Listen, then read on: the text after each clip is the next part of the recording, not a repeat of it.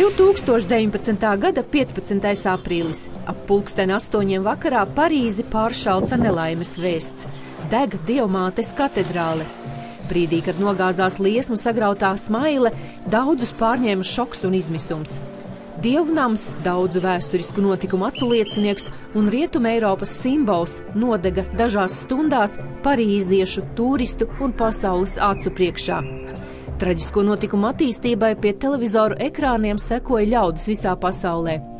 Tovakar Francijas prezidents Emmanuels Makrons paziņoja, pēc pieciem gadiem katedrāle būs atjaunota. Tas bija riskants solījums, taču būvnieki un restauratori šķiet nepievils.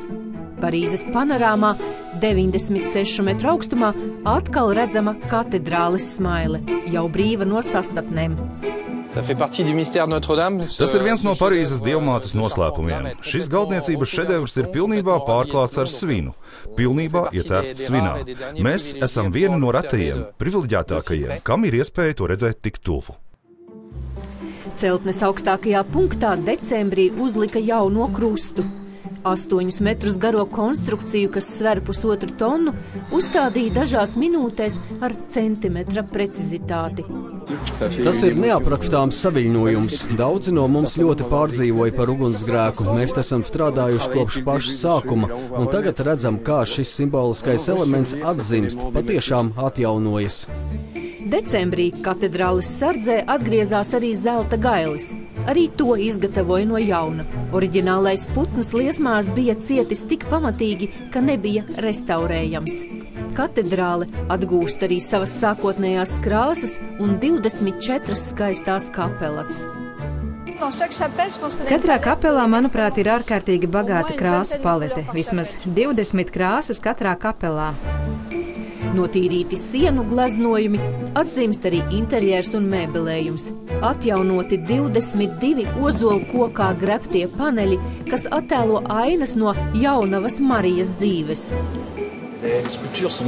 Grebumi ir tukši, tēli ir ļoti dabiski. Tajos ir neticama kustība, seju izteiksme. Tas ir tik iespaidīgi, ko senāk cilvēki ir spējuši izveidot.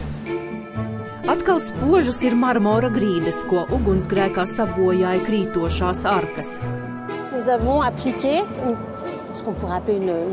Mēs uzlikām, ko jūs varētu saukt par lateksa kompresi, un, ja jūs varat redzēt pēc tīrīšanas, tas ir daudz interesantāks. Un nākamais atjaunošanas posms paredz nomainīt trūkstošās daļas.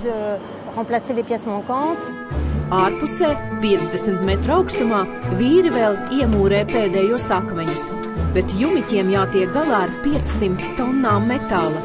Jumta segumam izmanto svina loksnes. Ne cinks, ne varš neizturēs tik ilgi kā svins, tāpēc man tas ir patiešām labākais materiāls, lai šāda ēka kalpotu vēl ilgus gadus. Lai nokvēpušos mūrus padarītu gaišus, sienas attīra ar lāzeru. Lāzers noņem netīrumus, nepieskaroties akmens virsmai un to nebojā. Atšķirībā no ķīmiskiem šķīdinātājiem un mikrosmilšu strūklas, ko nereti izmanto vēstures pieminekļu attīrīšanai. Tas ir sprints maratona garumā. Visi cilvēki Parīzē nevarēs iekļūt katedrālē. Tāpēc mēs parādīsim, cik tālu darbi paveikti, cik daudz ir atjaunota Dievmātes katedrāle. Tagad esam ļoti tuvu atvēršanai pēc dažiem mēnešiem.